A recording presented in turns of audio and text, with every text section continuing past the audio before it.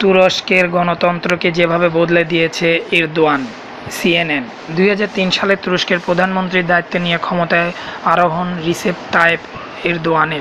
দুই হাজার চোদ্দ সালে প্রেসিডেন্ট নির্বাচিত হওয়ার পর থেকে এ পদে দায়িত্ব পালন করছেন। গত রোববার তুরস্কে অনুষ্ঠিত গণভোটে প্রেসিডেন্টের ক্ষমতা বৃদ্ধির প্রস্তাব জিতেছে। এই ভোটে জয়ের মাধ্যমে এরদোয়ান নিজের দেশকে আরও পরিবর্তনের দিকে নিয়ে যাচ্ছেন বলে মূল্যায়ন বিশেষজ্ঞদের।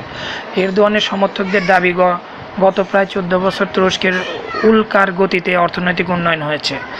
দারিদ্রের কষাঘাত থেকে মুক্তি পেয়েছে লাখো মানুষ। বিশ্বব্যাংকের তথ্য মতে দুই হাজার তিন সালে এরদোয়ান যখন প্রধানমন্ত্রী হন, তখন দেশের মাথা পিছু গড় আয় ছিল তিন হাজার আটশো মার্কিন ডলার। দুই হাজার সতেরো সালে এসে আয় বেড়ে দাঁড়িয়েছে দশ হাজারে। তবে এই চোদ্দ বছরে একের পর এক সন্ত্রাসী হামলার শিকার হতে হয় তুরস্ককে। গত বছর ব্যর্থ সামরিক অভ্যুত্থানও দেখতে হয় দেশটিকে। সব মিলে এক দশক আগের তুরস্ক আর দুই হাজার সতেরো সালের তুরস্কের মধ্যে বিস্তর ফারাক।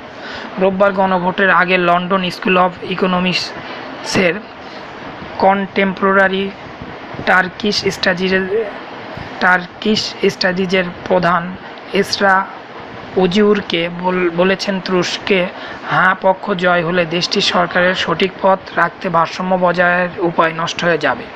পার্লামেন্ট পুরোপুরি অকার্যকর হয়ে পড়বে।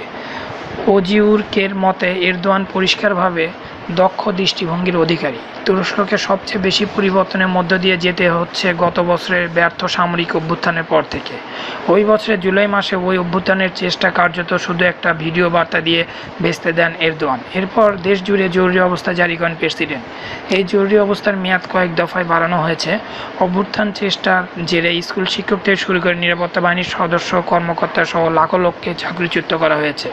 সাংবাদিক ও নাগরিক অধিকার কর্মী সহ এরদোয়ানের হাজারো রাজনৈতিক প্রতিদ্বন্দ্বী কারাবন্দী। আমার এই চ্যানেল হতে আপনারা যদি লেটেস্ট নিউজ পেতে চান, তাহলে অবশ্যই অবশ্যই সাবস্ক্রাইব করুন। ধন্যবাদ সবাইকে।